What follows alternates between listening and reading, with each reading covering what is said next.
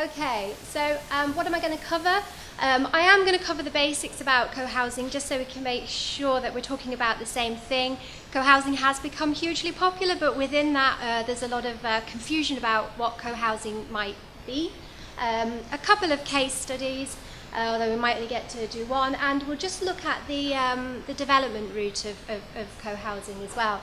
Um, I have, for those that we talk, we are, I am focusing on co-housing, and I know there's other presentations in the week about other uh, community housing models.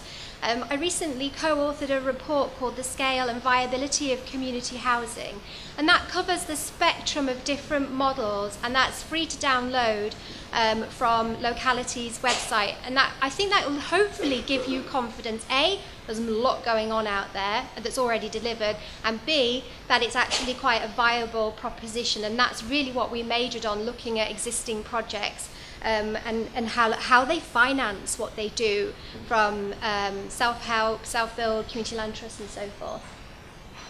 Um, yes, so this, this is a, a long list of co-housing videos. There's some really, really good introduction videos. I love the one at the top, um, co-housing by kids. Um, it's a Canadian video, but it explains the concept so well. And if you ever you're part of a group or wanting to talk about this with a group of people, um, it's great. But there's a there's a number of other ones there as well. So what's co-housing about? It's not actually about housing, really. Housing is the byproduct of, uh, of co-housing. It's about living collaboratively um, in community, and that's the most important thing. It's about living sustainably, sustainably for some communities. That's quite a high value system for them. Critically, it's about sharing, uh, sharing resources, sharing time um, within the community, and it combats uh, loneliness but it also it's a model that protects people's privacy as well and that's quite crucial okay um, so co-housing um, I think when, when we, we're at the moment we're trying to uh, understand the scale of demand for co-housing because uh, when people start to describe how they would like to live as a blank canvas what their ideal neighbourhood would look like. So often they pretty much describe a kind of a co-housing scenario. But of course, you know, if you ask people, do you have, what do you think about co-housing? Hardly anybody's heard of it, even though it's massively growing. Um, it, they wouldn't necessarily know the, the core components. So it's set, so these are some of the core characteristics, and these are important, especially as, uh, as I said, with the popularity of co-housing, you get all sorts of different versions. But I would say it's set up and it's run by the people who live there, non-hierarchical kind of decision making, and that's kind of critical. Residents are involved in the design process from the outset. That's a bit debatable, really, um, because that's the first residents that are involved in the design of the process, but uh, design of the community. Um, but um, it's, it is about creating that community, and it's about sustaining that community once the project is built. Um, this is not about grand designs. Um, it's not about uh, building your ideal home. It's about building, uh, building the community. Okay, so um, a typical co-housing community, um, 8 to 40 households. Uh, Lancaster co-housing is the largest one in the UK at 42. Um, the smallest one is the Hackney co-housing that John uh, referenced, uh, Coppers Lane, um, Stoke Newington in London. That's actually, I think, below eight, but who's to argue because it's definitely got all the facilities and all of the core characteristics of um, co-housing. It should be that uh, the homes are smaller in theory because you're benefiting from a range of communal resources, that particularly your common house, your common house doesn't have to have any kind of set uh, facilities in there, uh, but you would normally uh, expect to see a, a dining room and a, a, kitchen so the community can gather um, and share, share meals together. And then after that, it really does depend on what the community is looking for. So uh, spare bedrooms, uh, workspace, children's space, uh, laundries, tool rooms are some of the common, I guess, features that we see in, in, co in common houses. Oh, that's that's not a that's that's just a, an illustration to sort of uh, there's obviously lots of uh, different uh, design patterns of co-housing. It's just a kind of an illustration to show what it might look like. Okay, um, co-housing in the uh, in the UK up until now, I think there's been quite a focus on building new um, uh, or renovating uh, redundant property, public sector property. But that's not necessarily uh, that's not necessarily a prerequisite of co-housing. You could set up co-housing where you live, and we'll come on to that from an example in uh, the states where that has happened. Um, there, is, there is an array of legal models for different, the different co-housing communities that are both established and the ones that are set up. It makes it confusing as, a, as a, somebody who manages the network. We very much love to have sort of template legal documents for co-housing communities to make it much easier. When we looked at that, um, we found just about every legal model in the communities that were forming and established. Um, but what that does say actually is that people are adapting. Um, would, we want to help people not to have to reinvent the wheel. People are adapting their situation to their needs. Um, it's very particular to those communities, and that makes it quite exciting. Within the co-housing, um, existing co-housing movement, there's all forms of tenure. There's a definite uh, swing at the moment to um, home ownership. Uh, but there's also shared home ownership and rental, and as we know, mutual home ownership at LILAC. There's a case study on the, the back there. Mm.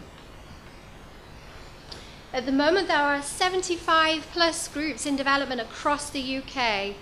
Uh, it's probably a swing towards urban areas at the moment, but in all in all in all the four countries um, in the UK, and there are actually 19 uh, that are built you can see all 75 uh, on the Co-Housing Network website, which is just cohousing.org.uk, under groups, and they're all listed there along with the established communities.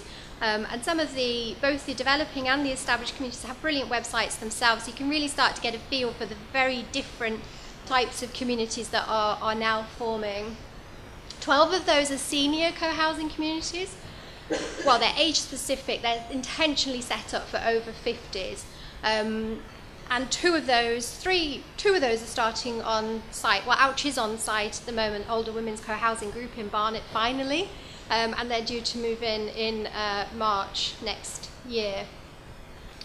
There has been quite a lot of media interest in co-housing uh, in the last couple of years. I think it's mainly among the uh, broadsheets rather than the tabloids at the moment, but it's been very uh, positive and it's driven a lot of interest, both from people grassroots, but also from, importantly, from planners, stakeholders that want to support, and it's becoming far more easy to do that through local authorities and so forth.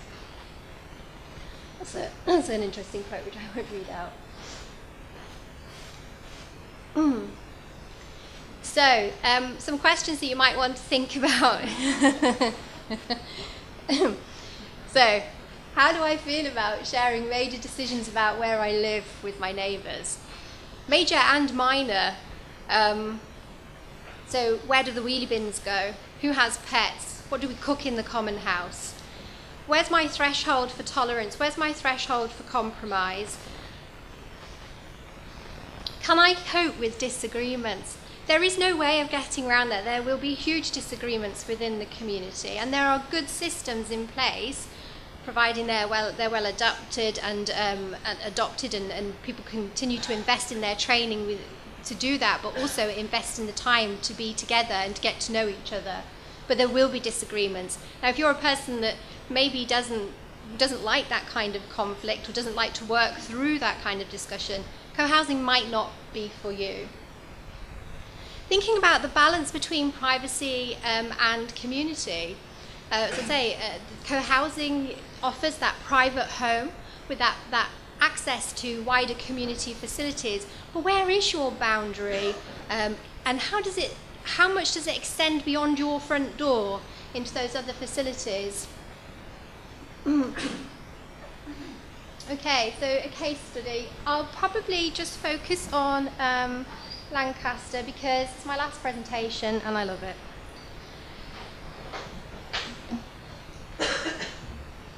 So, uh, hmm, I'm going faster.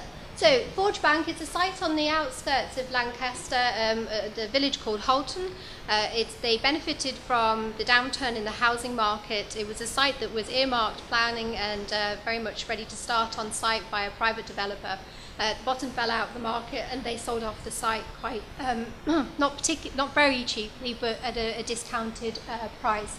The group itself were quite keen as part of their value system to be in the centre of Lancaster. So this is a windfall site for them that challenged them from the outset. What it did have though was really good access links. So it's very easy to cycle all the way from um, Halton into Lancaster and some other bits and bats that I think helped it to swing it for the, for the group in terms of their vision and their, their values. So 41, this is the largest uh, development so far of a co-housing community in the UK and it's been very challenging. It's almost like settling a, a, a new village if you like. It's quite, it's quite a, a sizable community. There's a mixture of one bed and four bed homes there. It's not, it's not, uh, it's passive house standard. Um, they've learnt an awful lot in building those homes because at that stage it was the largest passive house type development in the, in the UK. So the supply chain for, for that, uh, I think they found, they, found very, they found very challenging throughout the development. They have a, um, a I would say they've almost got kind of a prototype co-housing design, really textbook design, um, in that they've followed the rules. The common house is right in the middle of the community. A great deal of attention has been given to how people move around the site, how they interact with each other, in what is quite a, a long site that stretches all along uh, the River Lune. So it's not ideal when you start with a blank canvas and usually you draw a pretty circle and your common house is there. Um, but they have, they, have, uh, they have done that really well. And the common house is really quite uh, central.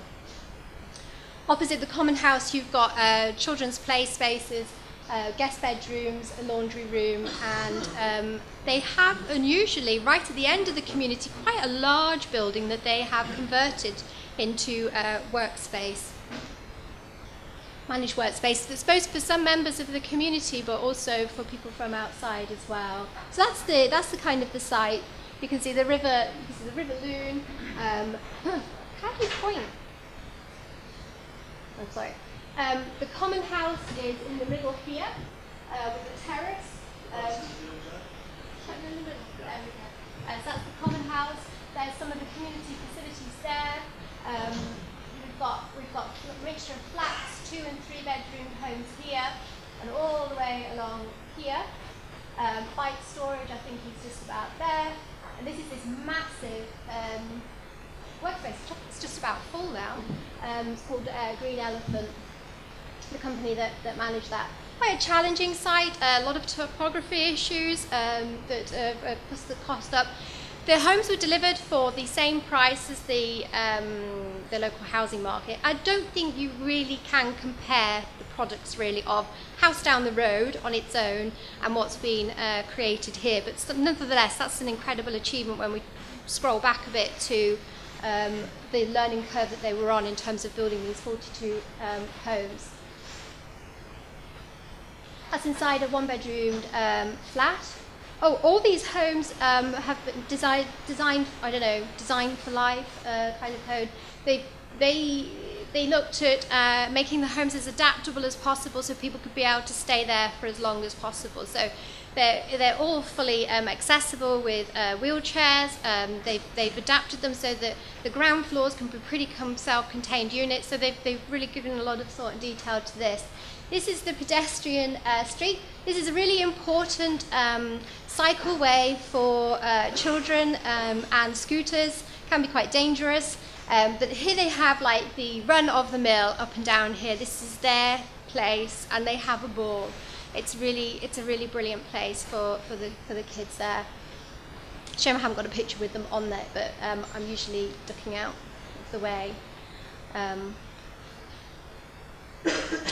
This is the uh, this is the uh, this, this here is the playroom and spare bedrooms, and this bit here is the common. No, I've got that wrong. There's the common house, and there's the spare, and you've got this covered area over the top. It's great for people to be able to sort of extending out for the common house. The common house is really well used. It's about five uh, five meals um, uh, a week uh, in there, um, a vegan and vegetarian uh, community. And this is inside the common house. If anybody's thinking about co-housing, I really, really recommend um, Grace Kim's book on designing common houses. It is it's very, very hard to get it. Do get in touch with the network, but it's one of the only studies on, on how to build a common house. How, no matter how small you are doing it, it's full of really practical advice, the kind of stuff that maybe if your architect or whomever you're working with haven't thought about, essential stuff like noise and sound, kitchens, um, lighting, how to make sure that common house generally becomes an extension of your home and not somebody somewhere that feels yes it looks pretty but it's municipal it's not functional. You can't have six cooks in the kitchen um, and, and so forth. Um, it's a really good book. Study. This they don't like me showing this picture because it's actually on moving day. Um, but uh, there's a you can get feel for people hanging out there. Okay had a lot of fun in the River Lune. Right, so as I said, this is a big presentation. I'm not going to go through it all. I'm just going to skip to the one thing about the development uh, journey, but I did think it would be useful for, for everybody to have. This is OWCH, so that's on site now. This is K1 uh, project. I'll just flick through this. You get a feel. This is a project that's been enabled by Cambridge um, City Council. Is anyone coming to talk about this over the week? Okay. Um, it's, uh, it's, it's a diversion, I think, for, although there has been a group in Cambridge for some time, it's a diversion for the co-housing movement that's been very positively enabled by the local authority. Um, and that has sped up, I suppose, the, the process. But you'll have this to look through. Okay. Sorry, it's huge, but I did think it would be a useful resource for you to have. we'll get there.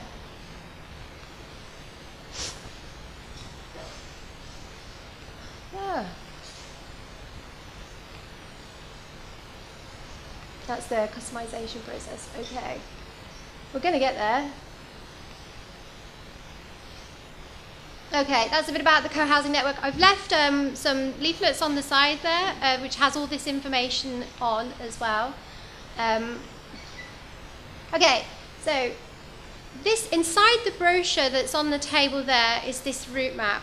Um, no group is ever going to follow this route map, and we wouldn't um, expect that.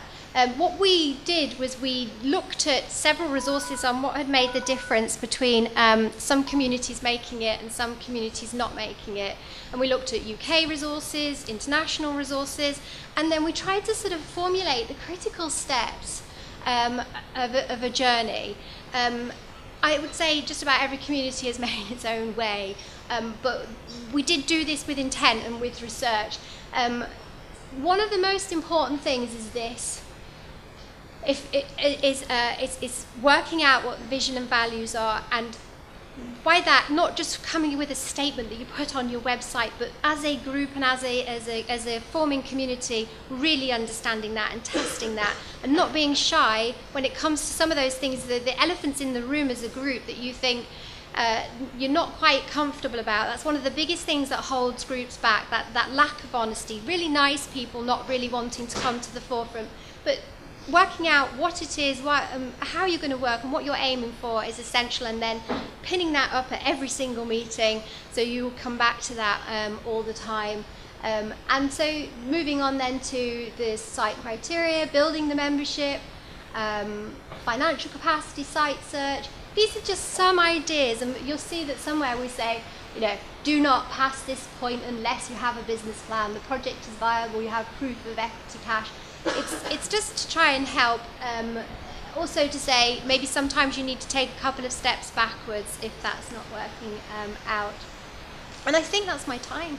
Um, but I have left all of this here for you to see afterwards uh, because there's quite a lot in this presentation. I did think it would be a useful resource. satisfação.